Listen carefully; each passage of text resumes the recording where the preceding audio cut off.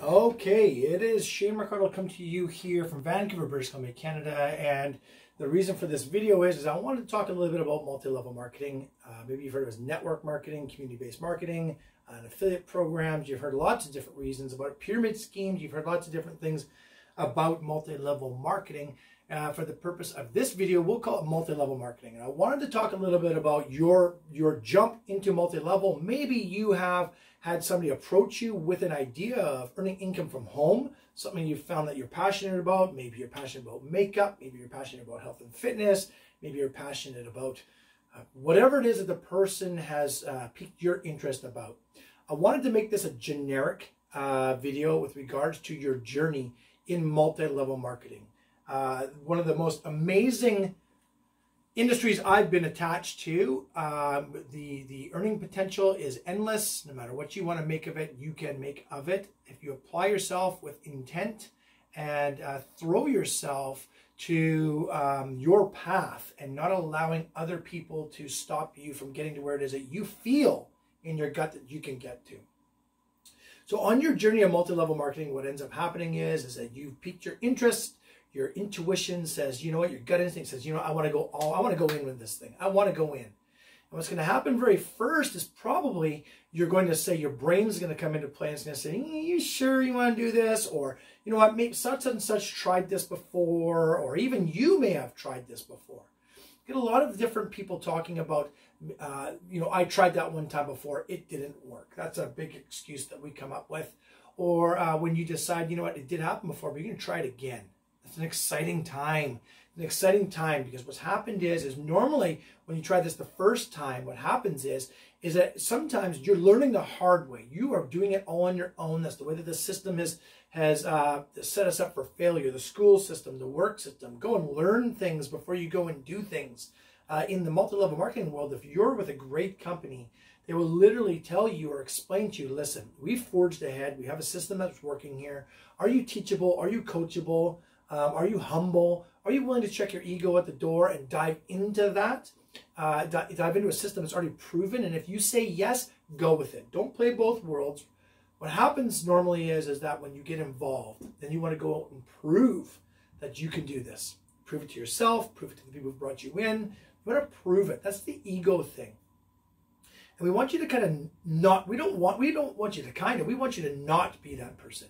Don't have anything to prove right? If there's a way that was designed and formulated before you that was proven to work, it would make more sense to just jump in with that system. I did that with my support, and I got at least 10 times further than I did with my first multi-level marketing.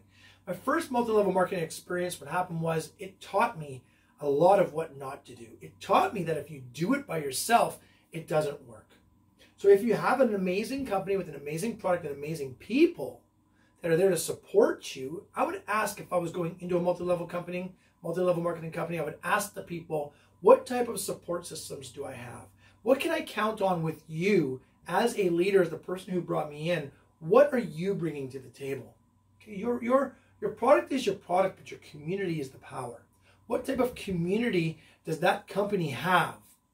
Uh, does it have a, a community of support and love and encouragement with tools to be able to help you learn and also help people you bring in to learn? Is it easy? Is it simple? Is it duplicatable? Those are some questions you want to ask anybody who's asking you to get involved with a multi-level marketing company. And I would ask that person, how connected are they to the original people?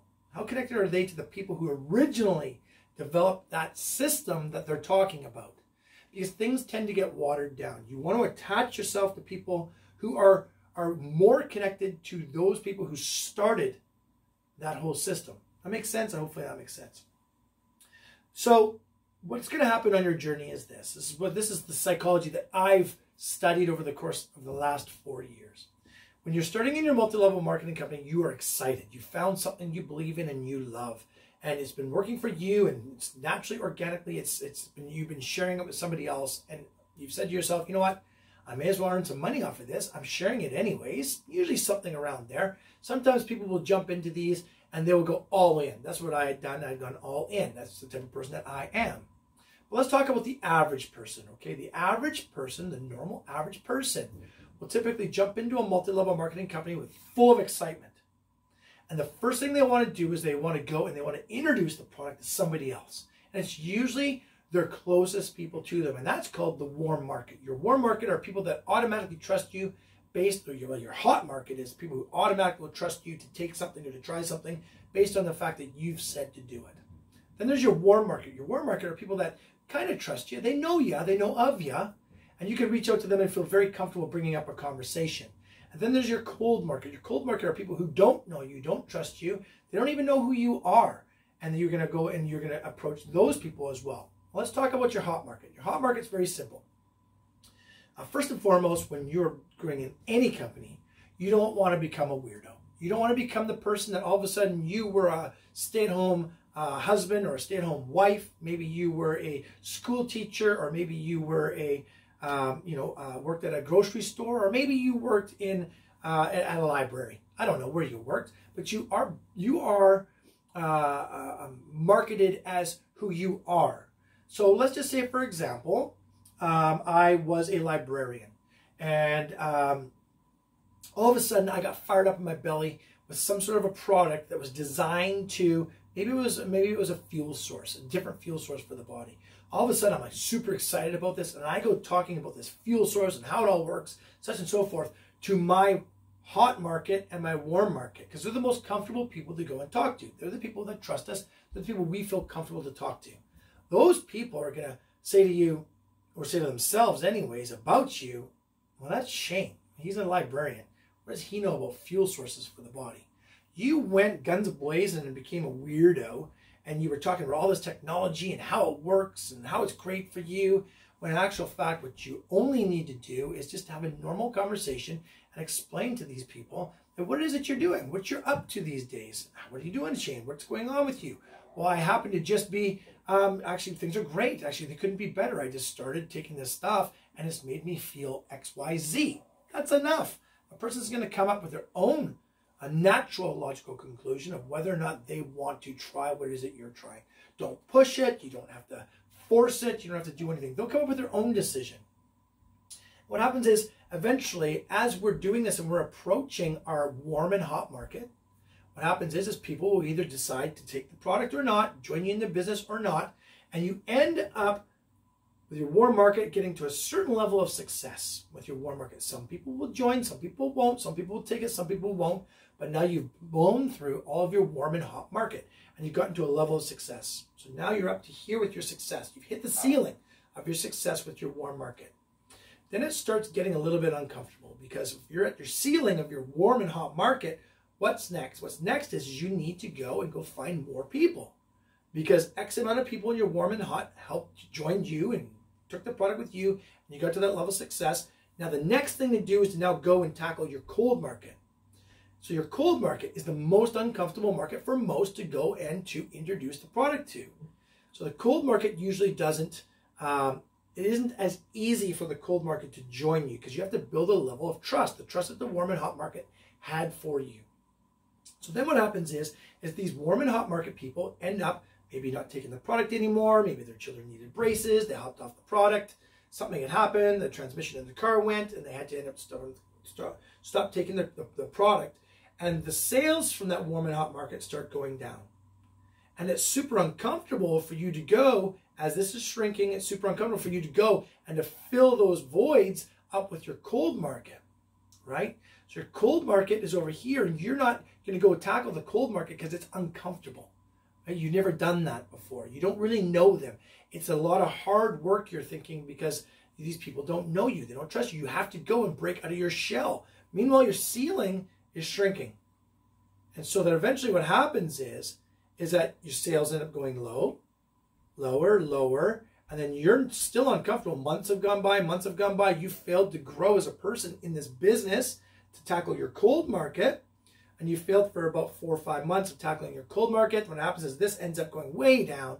And usually what happens is, is somebody else is before you has gone through the same thing, and you're being led by your leaders who are doing the same thing or going through the same thing and they have heard something about another product or another company. And that particular product or company, what happens is, is they're like, wow, I found the next best thing. This is incredible. Meanwhile, you've been talking to all sorts of people about how incredible your product is. And they found the next best thing. And guess what? Now I found this. And this is even easier. And this is even way better.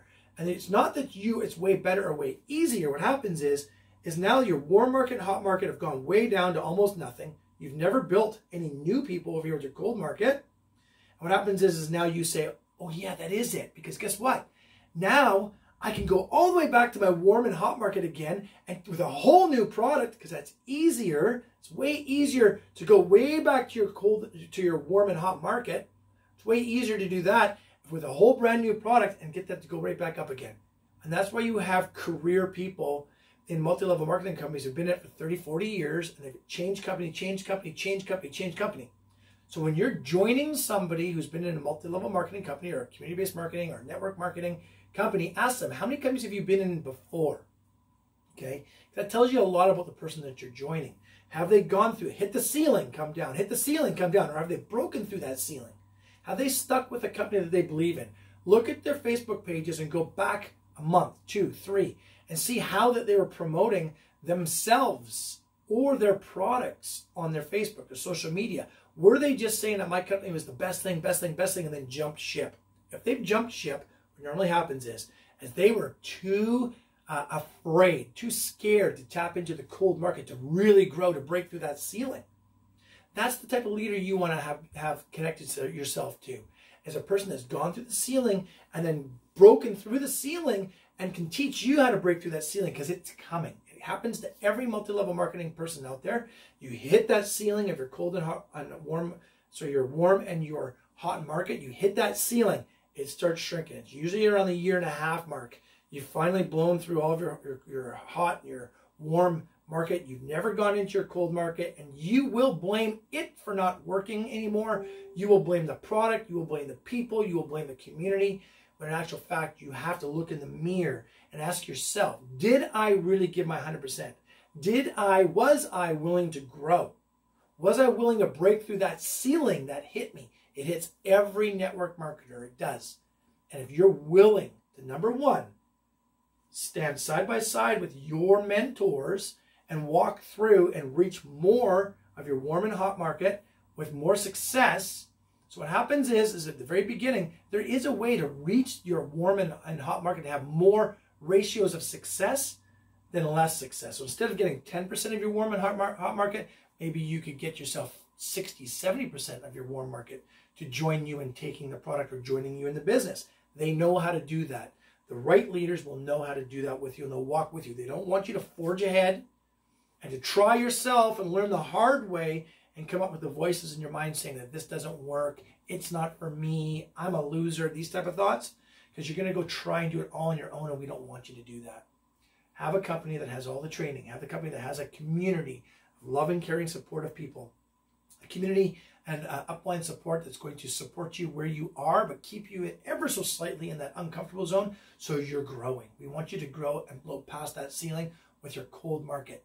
Going back with a new product and to offer your hot and cold, your hot and, and warm market because it's easier for you is doing injustice to that person because probably you found yourself at the beginning that amazing product, right? That amazing product and it's way easier for you to go all the way back with a new product that's probably subpar and go to that those people over there that are shrunken, shrunken down your warm and your warm and hot market have gone down and go back to them with a new product than it is for you to actually grow. And in life, we want growth. In life, we want you to become the best version of yourself, to become an incredible multi-level marketing person, an incredible stay-at-home work from home uh, partner. That's what we want for you. So when that offer of that new product comes in, ask yourself, ask yourself this. Does it sound better because of what I just mentioned to you about being able to go back to my warm and my hot market again? Or is it coming in to make it easier for you? Things in life don't come easy. They don't. They don't come easy at all. It takes the hard work, it takes the dedication, it takes consistency and willingness to grow.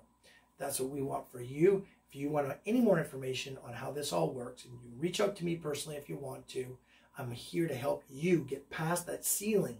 That ceiling. I want you to step outside and get to the clouds, get to the moon, get to the stars, get to the outer solar system. That's what I want for you. So Shane McCardle saying off here. I'm going to walk around, turn the camera off. Hopefully you got some value out of that. Have yourself a great day.